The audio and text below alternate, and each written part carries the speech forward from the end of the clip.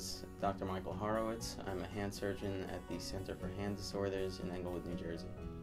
In addition to my surgical training um, and my hand surgical training, I did a, uh, a burn surgery fellowship.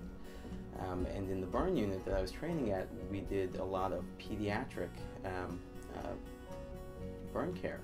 And it was really seeing these children over time, seeing them follow up, seeing them come in years later, and seeing how they were able to get back to a normal life and really function well and do all the things that they love to do, um, that inspired me uh, and, and called out to me